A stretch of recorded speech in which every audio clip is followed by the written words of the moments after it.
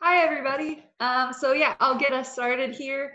Um, so um, my name is Paige. I'm going to be giving a good portion of the webinar, um, and I'll introduce everybody else later. Um, so this on this um, opening slide, we just have some of our upcoming webinars that we will share later as well. Okay, let's get going here. So the people that are going to be talking at you today are me. So my name is Paige Whittick, and I'm the education coordinator with the Missouri River Bird Observatory. Um, Zeb and Dana and Ethan are also going to be talking to you guys a little bit about some of their favorite backyard birds. Um, Zeb is our conservation science communicator, and Dana and Ethan are our co-directors and co-founders of the organization. So um, we've got some great information for you guys. Um, we're hoping this will be about an hour. Um, and yeah, we'll, we're, let's get moving. so um, just a little bit of information about our organization. So this is our mission statement. And essentially what this means is that we work to help birds. And we do that in a couple different ways. So our work, we work towards providing quality habitats, um, sustainable agriculture, which is what feeding the flock refers to, providing bird-friendly communities. And what we're doing today is um, encouraging people to get out in nature um, and learn more about it and experience it for themselves. So um, if you have any more, if you want to know more about our organization and what each of those things really refers to, you feel free to visit our website at mrbo.org. So today, what we're talking about today is birding or bird watching um, which is a really fun and healthy activity that you can do with the whole family. Um, it also can be a great way if you need some alone time, say your sibling is really bugging you today. Um, it can be a great way to get outside and um, look at some birds and enjoy nature. So what we want to do today is give you guys some of the tools um, to learn some of your backyard birds, um, some of the most common ones that you might find there, and give you guys some resources to um, how to attract them to your yard as well as learn how to identify them. So um, the outline, so what the webinar is gonna look like. So um, I'm gonna give a little bit of introduction why we think birds are super awesome. Um, we'll give you guys some examples of some common backyard birds that are our favorites. Um, I'll go over how to make some bird feeders just from stuff around your house. We'll go over some other ways to attract birds. And then I'll share with you guys a way to access some resources if you're looking for activities um, to do with your family and at home that can um, be really um, fun and help you explore nature. I'll also be taking questions throughout, so if you have a question, feel free to put it in that Q&A box that Dana and I talked about. Um, it's uh, like if you move your mouse, it'll be at the top or bottom of your screen. You just click that, a window will open and you can type your question in there. Um, otherwise, there should be questions or time for questions at the end. So it's going to be a great webinar. So to start off, let's talk about birds. So why help birds? Well, one really cool thing about birds is that they're everywhere. Um, from the most natural landscapes that you can think of to very urban areas all over the world. And because they occupy so many different spaces, um, they connect us and so they travel they migrate over thousands of miles. They connect us to people that are very far away. Um, just this morning i had a hummingbird at my feeder for the first time this year and it was down in central america and came back up. So that's a connection between these two areas that are very far away. And what's really cool about helping birds is because they occupy so many different areas and so many different habitats when you protect birds you also protect a wide variety of different plants and animal species, as well as some of the habitats that we rely on as well. So in short, why help birds? Birds are awesome. Um, and we're gonna give you guys some examples. We're gonna go over some common backyard birds um, that we think are awesome, and hopefully you will agree. Um, and these are by no means like all the birds that you might find in your backyard, but it's a pretty good sample of some of the most common ones. So let's get started with that because that's really fun. so um, if you guys have ever seen this before, or maybe you've heard this guy before, if you know what this bird is called, why don't you go ahead and click that raise your hand button, which you I think you can find at that same window where that Q&A button is. Yep, I see a lot of raised hands. That's awesome.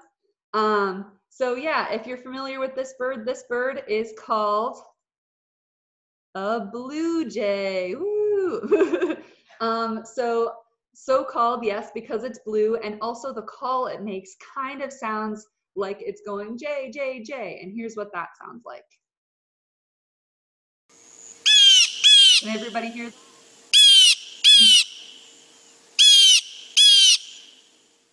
So maybe you haven't seen this guy before, but you've probably heard that when you've been outside before. And it's very rare that it's just one.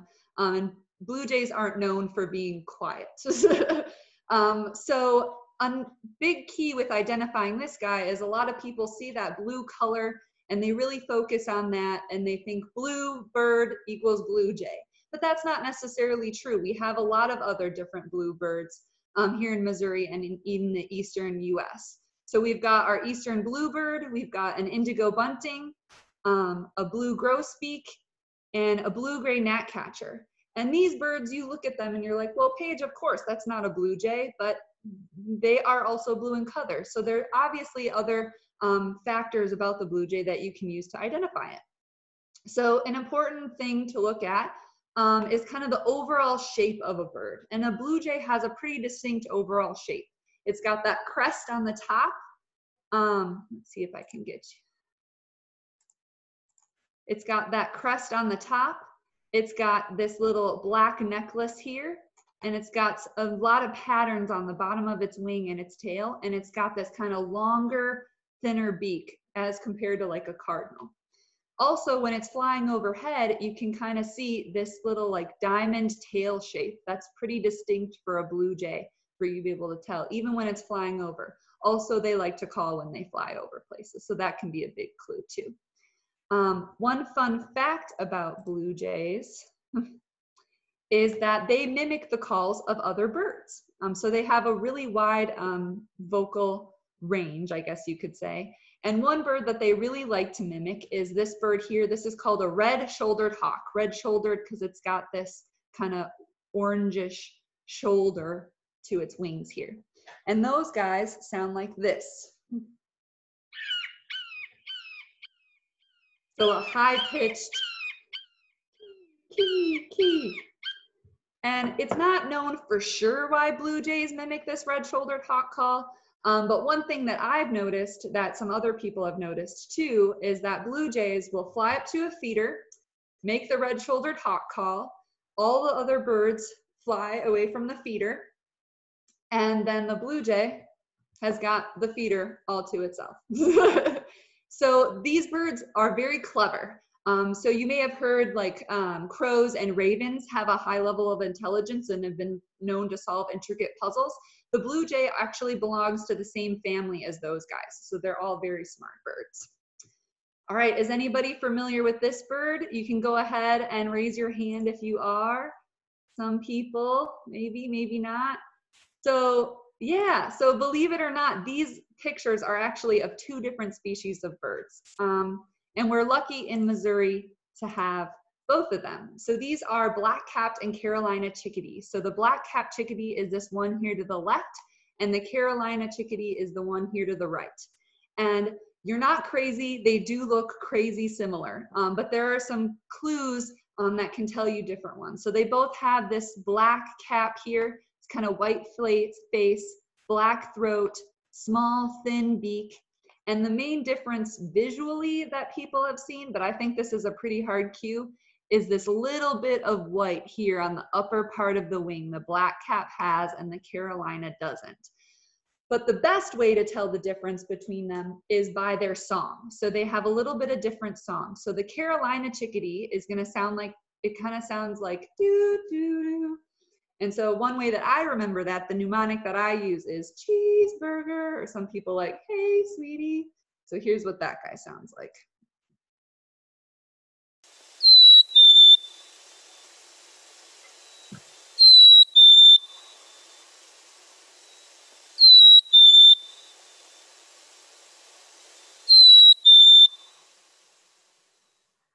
Yeah, so kind of that cheeseburger. Now the Carolina chickadee is a little bit higher pitched Um, and this recording, I want you to pay attention to that beginning part because theirs is more of a four part call, kind of do, do, do, do. Um, and so, um, and then you'll hear at the end of the recording some other calls that the chickadees make. Um, and these ones can be a bit similar between species, but here's what the Carolina chickadee.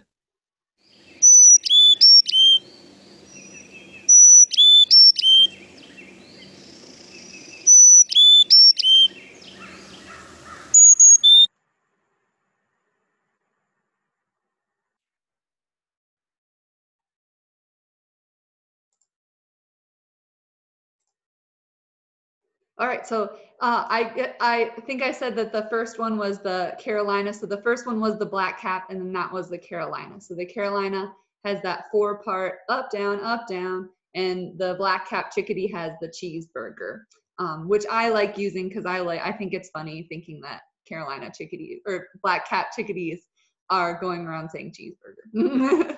um, but the really so those different calls can be a factor to identify the difference of them. But the main way um, to really the easier way to tell the difference is that they occupy different ranges. Oh.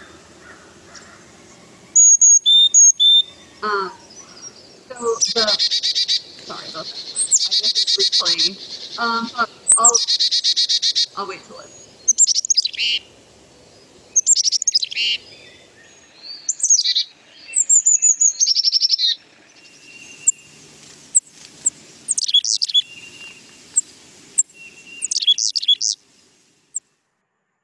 Okay, so yeah, so you got to hear the Carolina again.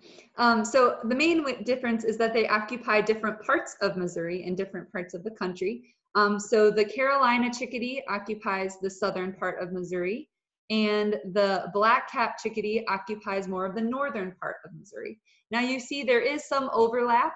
Um, if you live in that overlap region, it might be a good idea to learn these calls because you might hear both, and that can be really cool. Um, I know I've heard here in Arrow Rock, I've heard both um, both the Carolina and black chickadee. So that's really fun. So the chickadee, you kind of heard at the end of the Carolina um, recording, they also make another call. And the reason they're called chickadees is because their alarm call somewhat sounds like they're going chickadee dee dee dee. So here's what that sounds like. This is their alarm call.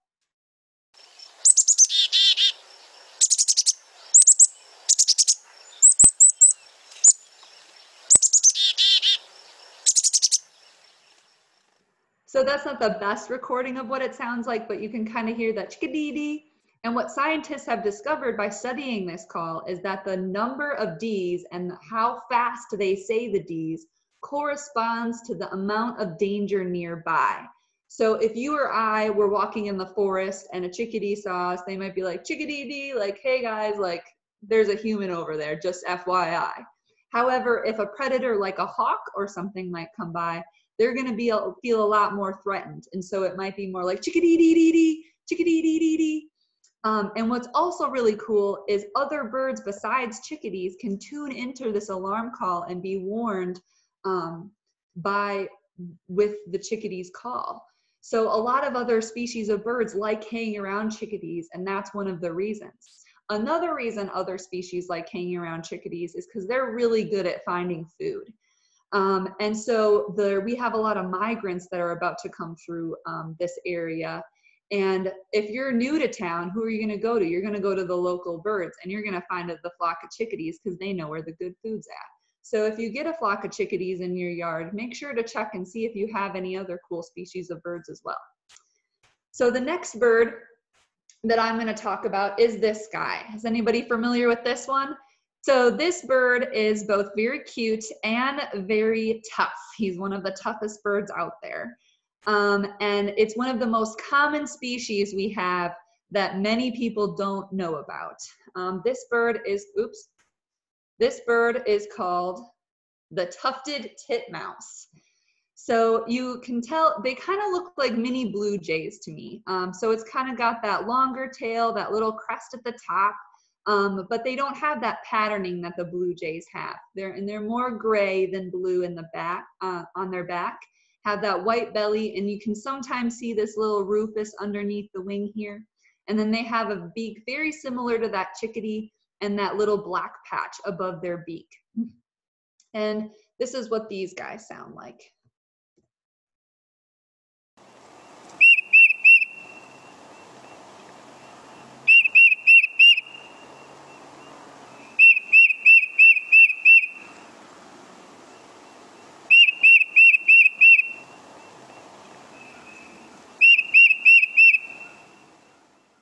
So I think they kind of sound like they're going, Peter, Peter, Peter, Peter. So the tufted titmouse is always looking for Peter. That's how you can remember that song. Um, so a fun fact about these guys. So there are a lot of cool things about them, but one thing that I find particularly cool and kind of funny is that they like to line the inner part of their nest with animal hair. And they not only find this animal hair by looking on the ground or in trees and stuff like that, but they will also pluck it directly from the animal itself. So um, I don't know if this makes them brave or another word, but um, this is one. So this is the tufted titmouse here pulling the hair from the raccoon, which I think is kind of ironic in this picture because the raccoon is eating the bird seed. They also there's also some videos you can find on YouTube of little tufted titmice pulling hair from dogs sleeping on porches but the dogs don't seem to mind because the dogs never like really move. So the tufted titmouse must be kind of gentle when it does this, which I think is super interesting. um, but yeah, so that's a fun fact about those guys. Um, so that concludes my birds that I'm going to talk about, and I'll come back and talk to you guys a little bit more later about how to attract birds to your yard. But right now, I'm going to hand it over to Zeb, who's going to share some of his favorite birds. All right, thank you, Paige. I will be sharing mine here very shortly. All right, I think that's going now. Perfect. So you can see from this first picture here, the first one I'm going to talk about, right? Yeah, uh, is the American Goldfinch. And this photo here was taken by Stephen Johnson. He entered it into our photo contest, which we do every year. It was one of our top two pictures this year. Um, and you can see why. It's a very striking bird. It's a very pretty looking bird with a lot of color to it. So more about the goldfinch.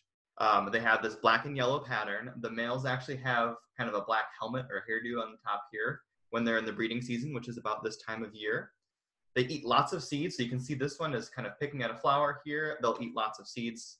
Um, even though they eat seeds, they sound like they're asking for potato chips. So as Paige was saying, we give these um, bird calls kind of a mnemonic is what it's technically called it's where we come up with a name for what they're saying and it just helps you remember what the birds sound like more. So i'm going to play you guys the um, goldfinch call. You'll see them flying around saying that asking for potato chips all the time.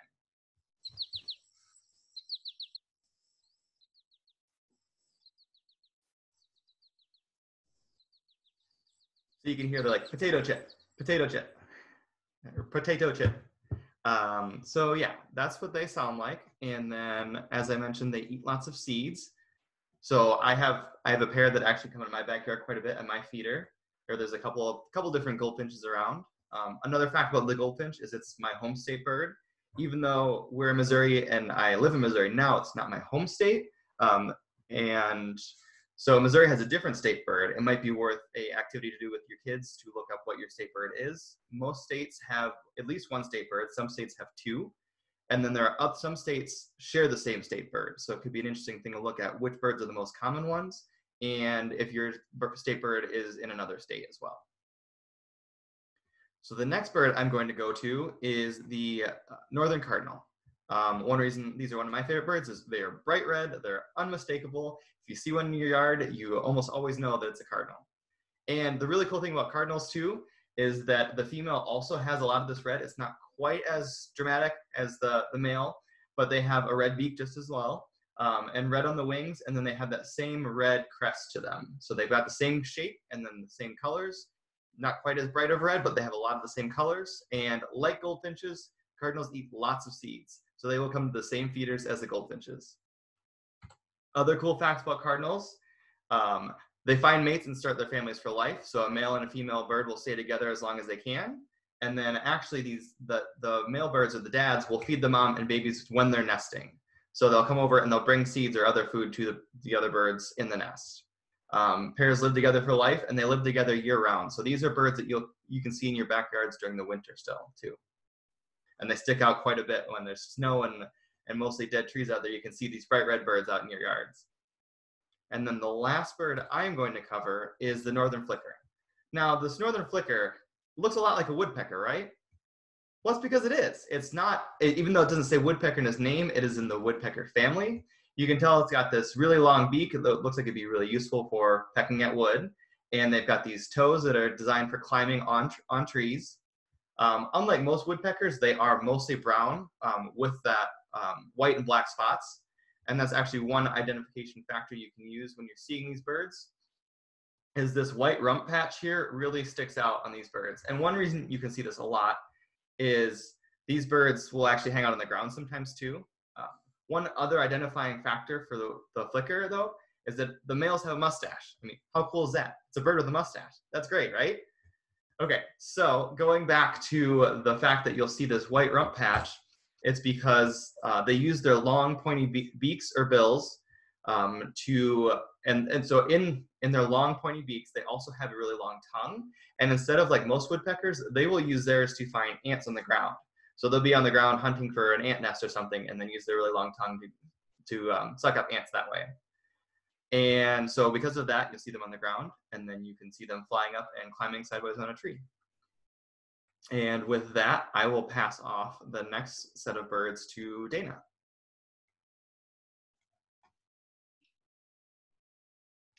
Thanks, Zeb. Let's see here. Okay, hopefully everyone can see that. Um, may I get a show of hands if you recognize this particular bird?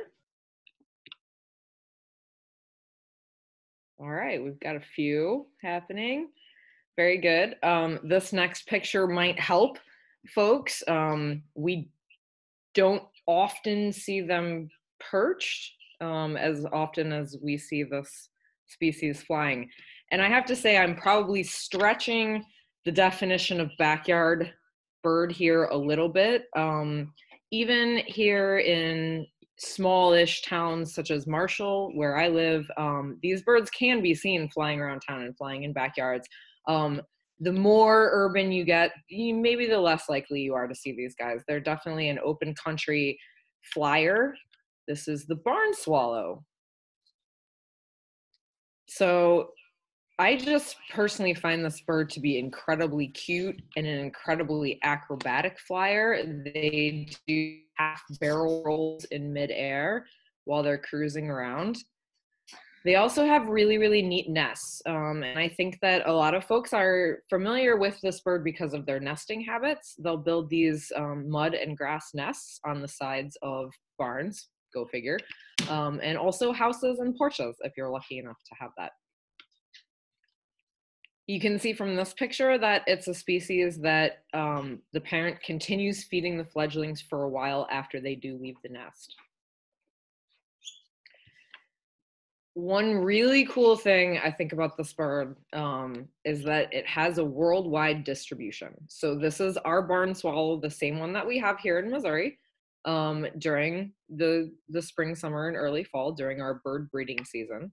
Um, you can see that in the orange on this map, um, but you can also see that they are um, across the entire globe, which I think is really neat. So if you ever travel really far, this is a species that you can see pretty much anywhere. My next favorite bird is one that a lot of people don't like at first. Um, and can I get a show of hands on this one? I got one one hand I saw. If you know what this bird is. All right, got a few more. Good deal. Good deal. This is a turkey vulture. So I like this cartoon. I thought it was pretty funny. I am a turkey vulture, yes indeed. My head is bare to prevent rotting flesh from adhering to it because they eat carcasses, they are scavengers. To keep cool, I poop on my legs and feet. This is an absolutely true fact. My main defense is projectile vomiting, which if I were a predator of a turkey vulture, I that would definitely keep me away and they are pretty awesome. I mean, these are most folks can, you know, humans consider this kind of a gross thing. um, these traits, but they're they're really good survival and defense mechanisms. Um, I personally find the face of the turkey vulture to be very cute.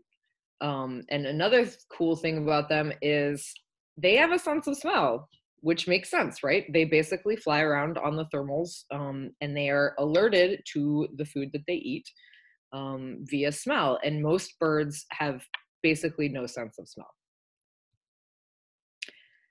So, one of the things that I love about turkey vultures is how very majestic and graceful they are in flight. Um, I hope everyone on this this webinar has seen them flying before. If if you haven't, when you do, you'll know. um, they're they're very very graceful. They tend to ride thermals, so updrafts of warm air, without flapping their wings. Um, so they're just gliding around but then sometimes you see them do this they sort of fold their wings back a little bit and then they can really cruise fast and far and have more control over their flight um, than when they're just riding the thermals. This is a picture um, that a friend of ours took, and these are juvenile turkey vultures, which is why their heads are not red yet. And you can see the ones playing with a stick. Um, turkey vultures actually have very complex social interactions, um, and they're very sociable. Um, in this case, these two juveniles were literally playing with this stick and kind of stealing it back and forth from one another. Finally, here's one. This is a backyard, backyard bird for sure. Um, can I get more hands? Who knows this guy? A few, yeah, all right.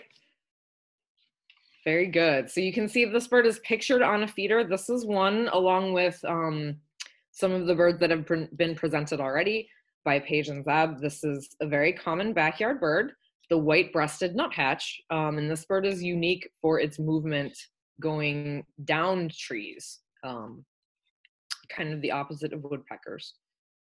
So they can also kind of circle branches as they're foraging and go upside down.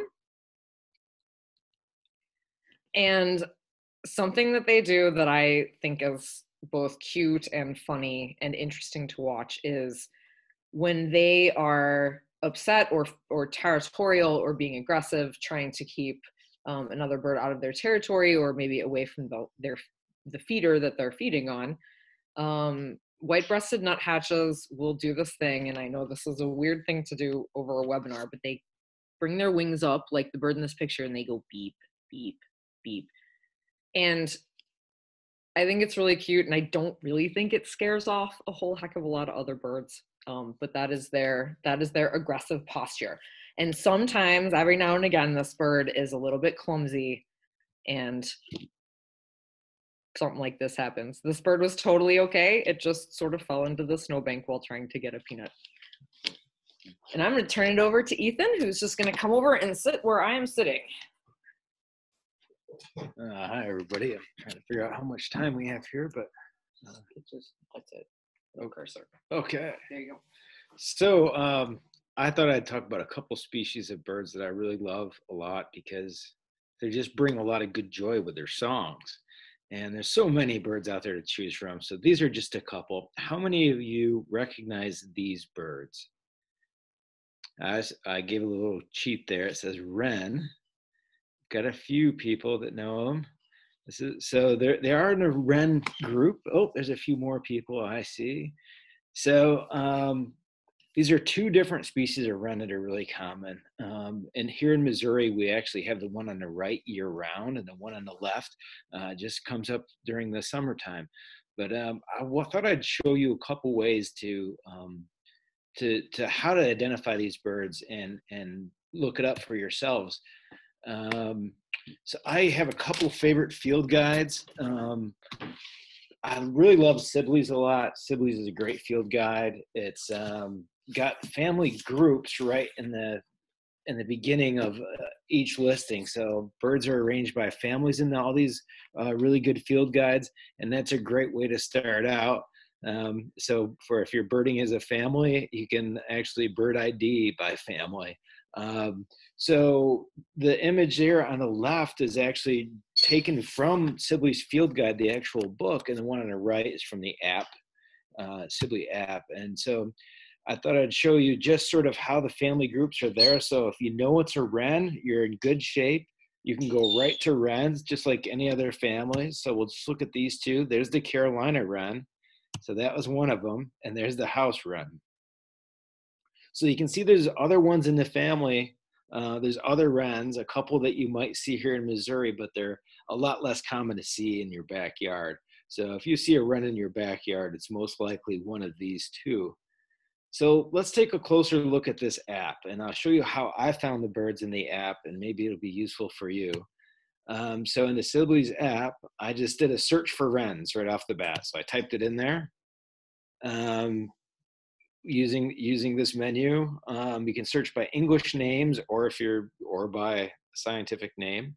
Um, I put the my location is Missouri, so that helps sort of narrow it down so it doesn't pull up all the wrens. But I search for house wren and boom, there it is, and it has all these great pictures for what wrens look like, house wrens look like across their range as well as range maps, um, and has um, their audio, uh, so you can hear what they sound like. So just a little snippet there for now. Um, you can click on the range maps and it shows them. And most importantly, you can go up to similar and do a comparison of these couple species here. And so here's house wren, Carolina wren, side by side, what they look like. You can really see some of the distinctive markings that make them unique visually, as well as compare their songs side by side and their descriptions and the descriptions of their sounds. So I find that really, really useful. Um, there's a lot of other bird apps out there, but I really like the comparison feature in apps, if, if like the Sibley's one. Um, uh, Peterson Field Guide, other field guides out there are really good, but I just sort of like that one. So let's take a little look further into comparing these two real quick. Look at that beauty.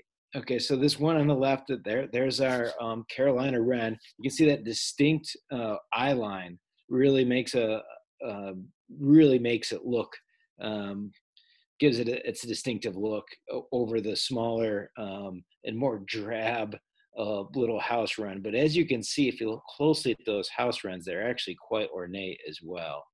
And so um, you'll notice if you see these wrens hop around in your yard, they both have the tails popped up and they often sort of twitch around quite a bit.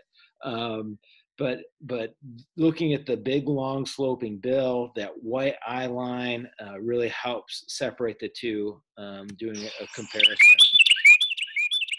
There's a song we hear year round, and that is the sound of our Carolina wren. So it's saying tea kettle, tea kettle, tea kettle, some people say. That's that's in juxtaposition to the more liquidy sort of rambling song that you'll get out of uh, and the chattery song you get out of a house wren.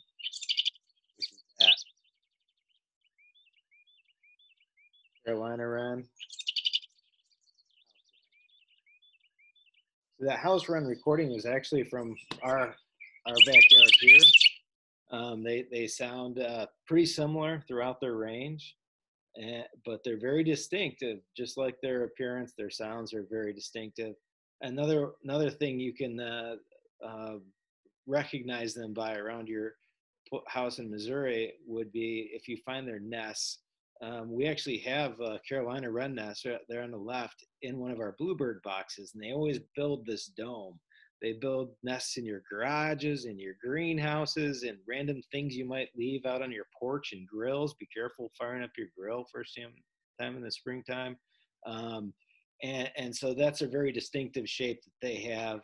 Um, and so you know not to disturb those guys. And then the, on the right, you'll see um, the house wren, they just throw a bunch of sticks in there. They're not really the best house builders, but they sure do spend a lot of time jamming a lot of sticks in holes. And this house wren will go in and just fill any hole he can find up, and then take his his uh, wife on tour and let her sort of decide which house she wants. And uh, there's what looks like inside your like your typical bluebird box. You might find some house wrens nesting in there, and that's sort of what their nests look like. But that's all I have on these two wrens, and and uh, I guess we can we can move on to whoever's next here. This page. Paige can take over. Yep, thanks. Uh, if you want to stop sharing the screen so I can. Got it. Got it. there you go. Thank you. Yeah, thank you guys for sharing um, those of your favorite backyard birds. And thanks, Ethan, for going over um, some tips about field guides and field guide apps as well. And I'll share some resources at the end if um, you want more information about that because yeah, there's a lot, there's a lot that goes into that. All right. So now you learned all about the cool birds you might see in your backyard. Let's talk about how to get them to your backyard. They're probably already there, um, but you can attract them in a, several different ways um, so that you can more easily see them as well. So what you want to think about are you want to provide the things that birds need, um, that what makes a good habitat. So just like us, birds need food, water, and shelter. And some different ways that you can provide those different things are you can provide some bird feeders and we'll go over some that you can make in your own home. Can provide some water features and you can plant native plants. And I'll talk about each of those things in detail right now. So we'll start with bird feeders. So this is the most fun one because this is your chance to get crafty. So my main advice with um, putting up a your own bird feeder is keep it simple. Um, birds aren't picky. Um, as far as what they want to eat. So simply smearing some peanut butter on a tree trunk um, could um, attract certain birds um, to a certain area. Um, simply taking a toilet paper roll, putting some peanut butter on it, rolling it in bird seed, putting a string through it, hang that up in a tree, you've got yourself a bird feeder. Um, this person just took some wire, cut up an orange, stuck that orange on a wire, and that'll attract certain birds that like to eat fruit um, this person took a jar, filled it with some peanut butter or suet or some sort of material, threw some seeds in there, put a string around the handle, hung it up in a tree, and look, that chickadee loves it.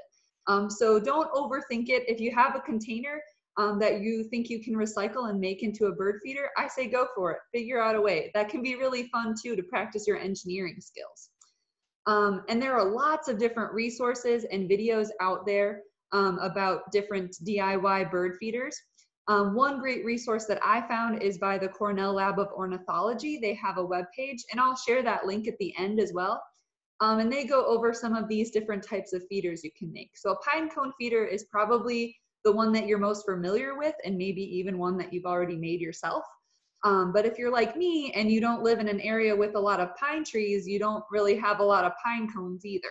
But there, the good news is there's a lot of other options. Um, you can make something called bird seed cookies which are essentially just like seed um, and some sort of like sticking agent that you can make and then hang up in a tree.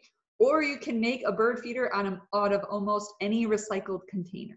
Um, so one example um, in this picture here to the right, um, they this classroom made feeders out of old yogurt containers.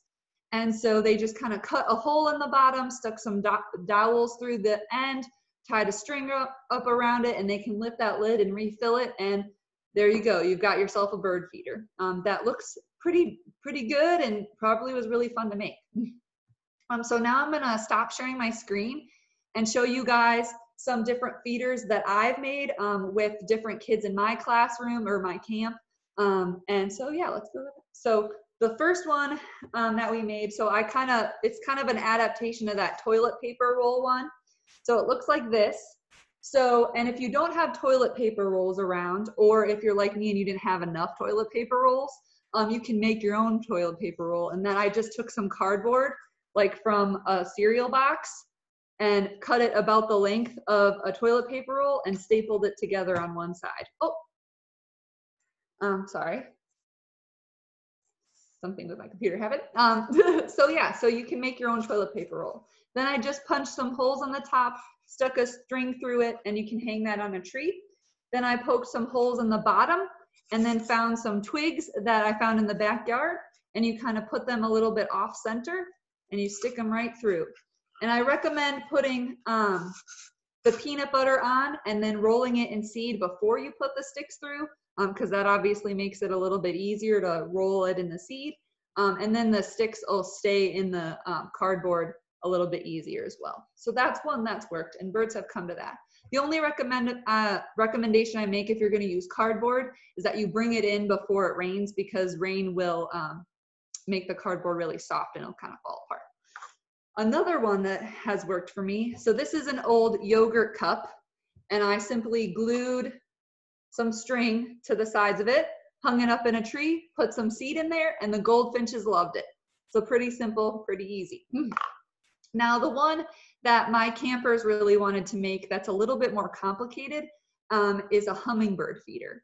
Um, but you can make this at home. So this is the one um, I found a video and I will share a bit the video link with you guys as well about how to make these. So all this is is an old soda bottle, some wire, or you could use string, anything like that, tied around here and then looped on the top, and an old Tupperware container. And so essentially what you do is you first cut a hole in the top of the cap, cut a hole in the lid of the Tupperware container for the bottle to go through, and then some small holes where the hummingbird can access um, the sugar water. Um, or what I recommend using too, if you have, so I painted around the hole so the hummingbird can find those, but if you can find an old Tupperware container with a red lid, which is a color that attracts the hummingbirds, you're good to go. You don't even have to paint it. And then I have this old soda bottle. So you'd fill the soda bottle with the sugar water. You stick the lid over that, take the cap with the hole in it, screw that on, put the Tupperware bottom onto the Tupperware container, and hang it up like this and the nectar will drain from the bottle into the Tupperware container and the hummingbirds use it. They have no problem. um, so it's worked really well and that's a pretty simple one. Um, so let's go back to the PowerPoint here. So those are some easy ones that I've done. Um, and like I said, you can keep it really simple and think of your own ones if you wish.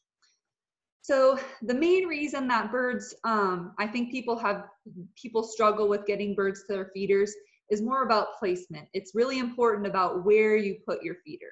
Um, not necessarily always what's in it, um, but where you put it. So some things to consider or keep in mind when you're thinking about where you want to put your feeder. You want to be able to see it well. So do you want to watch your feeder from inside your house through a window?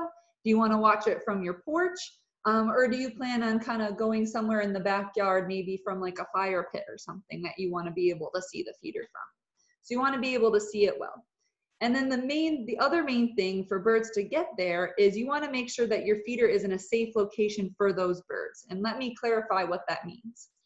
So um, you want to make sure that they're um, at least three feet or they're closer than three feet from a window or farther than 30 feet from a window. And this is because birds um, within that kind of distance dif differential, um, they might see a reflection in the window or they may not see the window and they may hit the window and that doesn't make it safe for those birds. Um, you also want to make sure you place it close to a natural shelter. So either a tree or a shrub nearby, so underneath a tree or near a shrub. Um, and that's really important. Um, some people will have feeders like way out um, in the middle of their yard and they're like, why aren't birds coming to my feeders? Well, they don't feel safe flying way out. That's kind of dangerous for them to fly out to your feeder um, if they don't have any natural shelter nearby to protect themselves if a predator were to come nearby or they feel threatened. Um, so, and you can provide this yourself too by just kind of taking some sticks um, and making a like loose brush pile um, near your feeders for those ground, um, ground dwelling birds.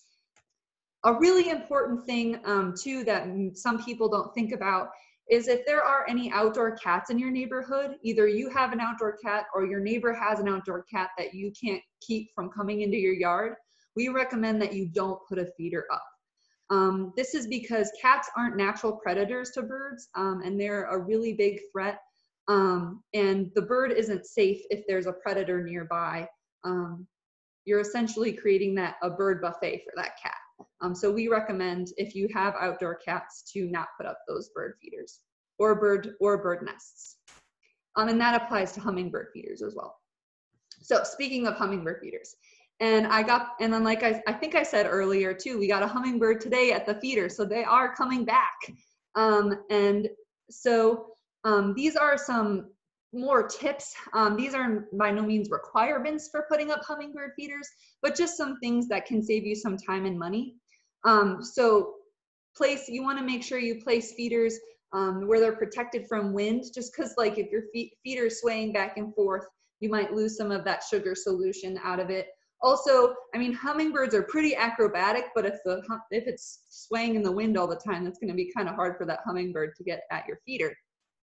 Um, I think a bigger thing is you want to try setting it in a place that's shaded um, for most of the day at least, um, because the sugar solution spoils more quickly in the sun. Um, if you can't find a shaded place, that's fine. It, what that means though is that you're probably gonna have to clean that feeder more often. Um, and I recommend, even if you can find a place that's shaded most of the year in the dead of summer, I would recommend um, replacing that nectar every, at least every three days, um, just because it can spoil pretty quickly if it's in the sun or in the heat, the dead heat of summer.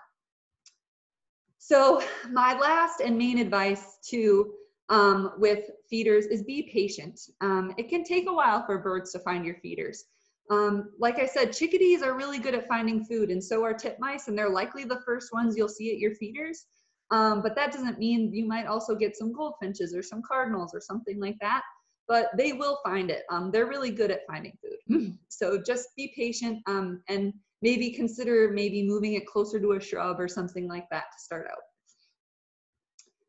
Another thing that you can provide in your yard that's a lot of fun is like a bird bath or a bird bubbler. And the main thing with these is just make sure you clean them quite often so that the water doesn't get too gross. Um, but this can be really simple and a great way to enjoy birds either drinking from the water or bathing in it. Um, and you can get really simple with it. So here I wanted to have a bird bath um, and I didn't have one like a fancy one like shown in these pictures. Um, so what I decided to do oops, is put, I found a shallow pie dish, um, filled it with some water and put it on top of a crate.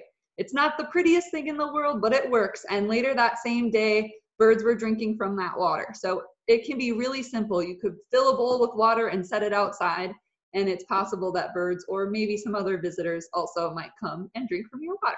Um, and that's really fun to watch too.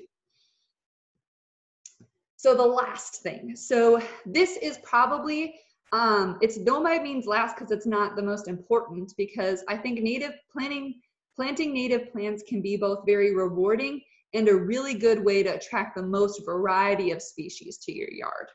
Um, so what we mean by native plants are plants that occurred in your area in that habitat before European settlement.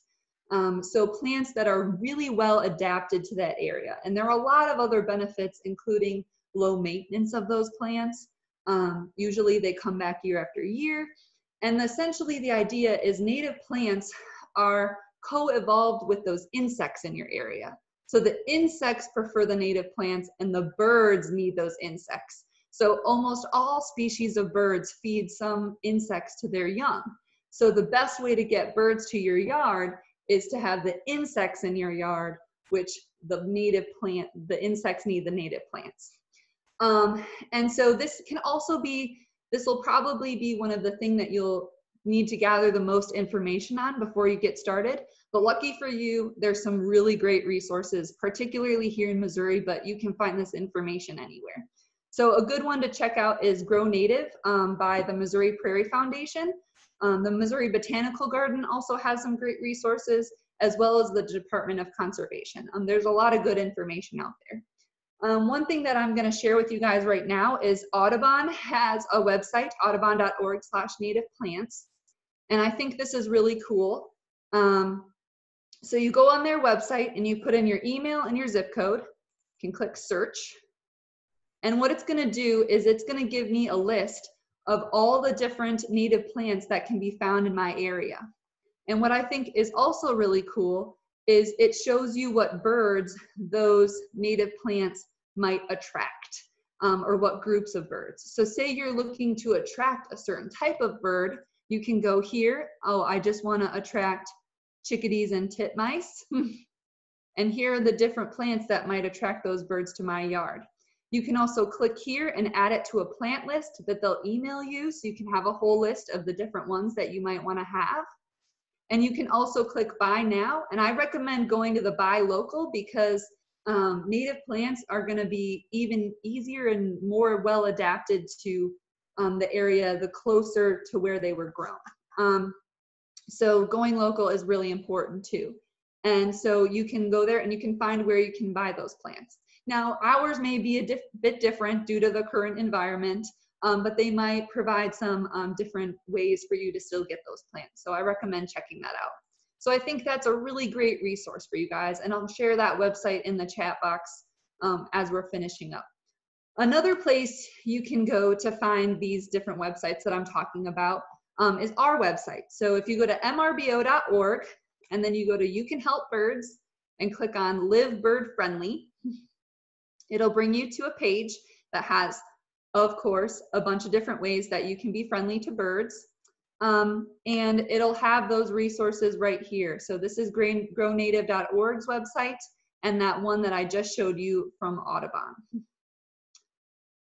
And, and then as well as a variety of other different ways that you can help birds, um, including if you have problems with window strikes, which I kind of mentioned earlier.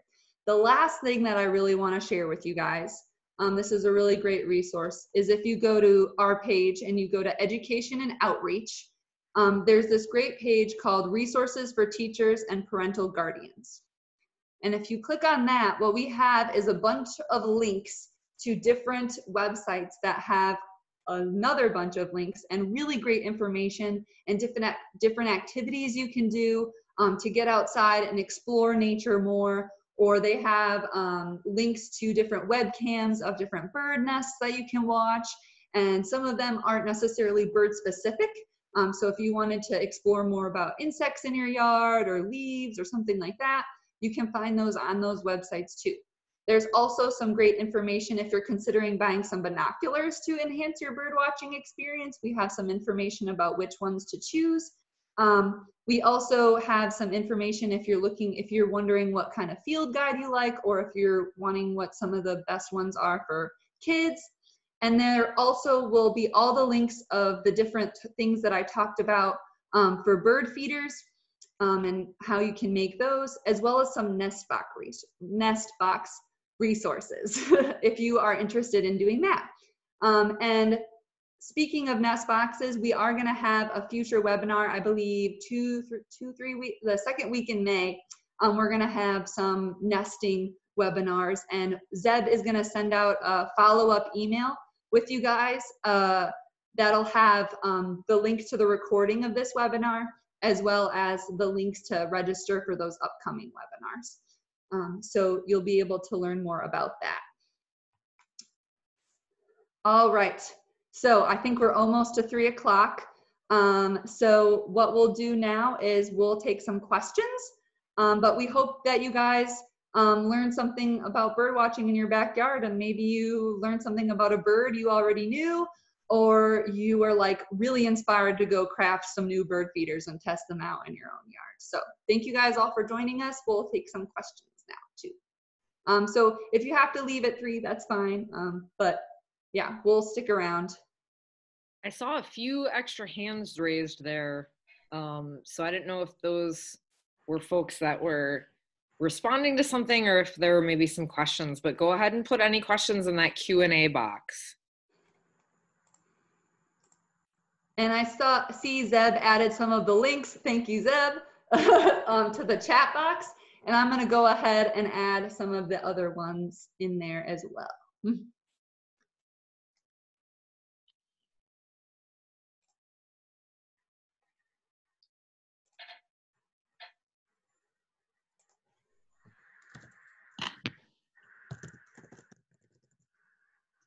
Oh, we got one question. I think Paige is answering that question in the chat box shortly. Uh, we had a question about the links to the, the Audubon Society native plants list. So if it's not in there, it's on our website Added. Mhm. or it's added right now. Perfect. And the link is pretty, um, it's not too hard to find just if you go to audubon.org and it's audubon.org slash native plants. So there's some things that are like really long and hard to like remember, but Yeah, I think they've been sending me quite a few emails about that too. So they're happy to encourage people to plant native stuff. Mhm. I think it's a really cool resource if you're looking to plant native plants specifically to attract birds to your yard. But Grow Native is really good if you're just looking to get information about native plants in general, for sure. And they do have a Grow Native has a list too on their website that's like top 10 native plants to attract hummingbirds. So if you're looking to particularly attract hummingbirds, that's a really great resource. And we're also fortunate in Missouri to have the Department of Conservation. They have regular mm-hmm. publications of, of what what plants are flowering at the time, and they just had a recent list of a couple of the trees you might see that actually have flowers out right now, talking about more native plant stuff. So there's lots of resources out there.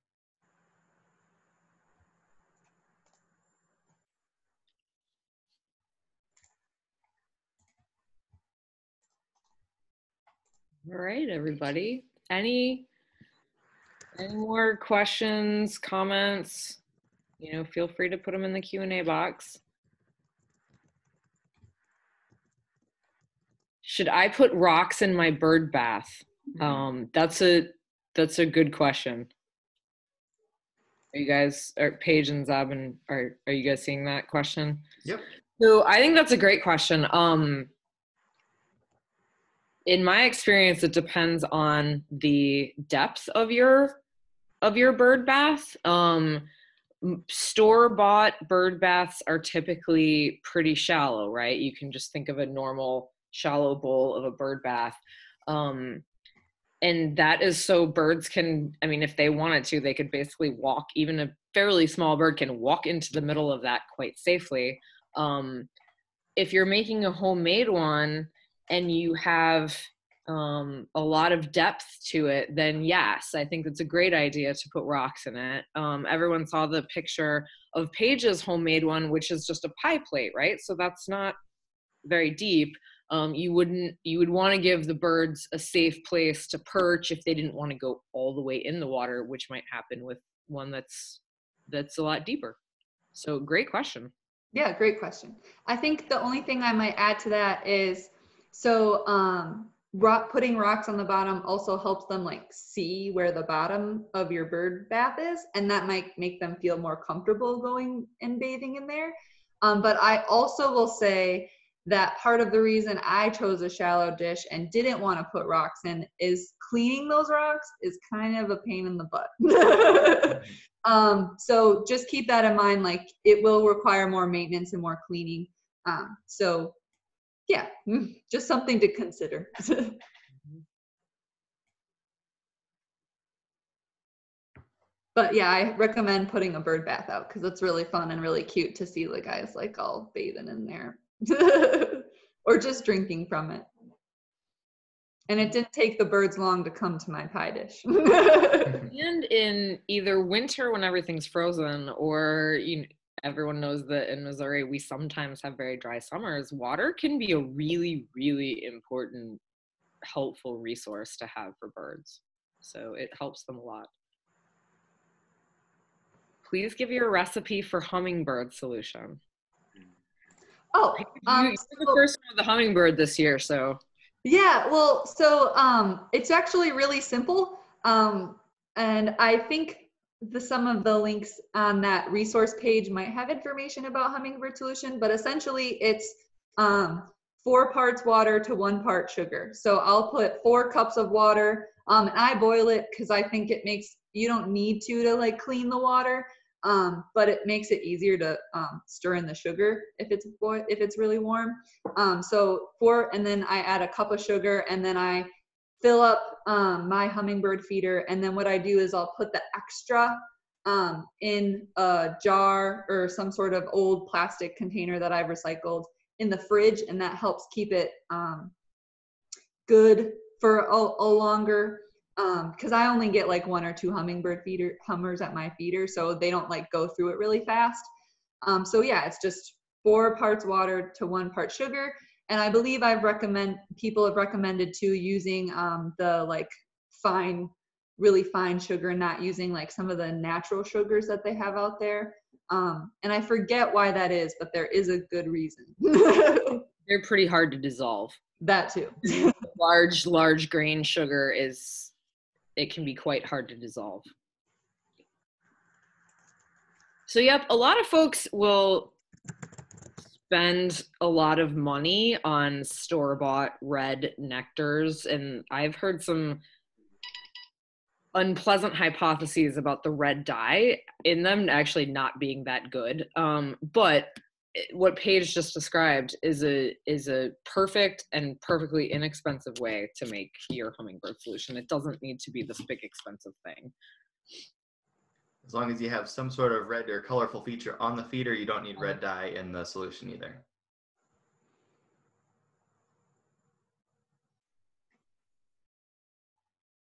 Any other questions? Those Yeah, are good questions so far. Oh, Yeah, they're great. Yeah, hummingbird feeders are great if you um, are someone who doesn't, yeah, doesn't necessarily want to spend a lot of money on a feeder, um, and you want to have decently low maintenance of that feeder, because clean it about every three days, or it's pretty simple.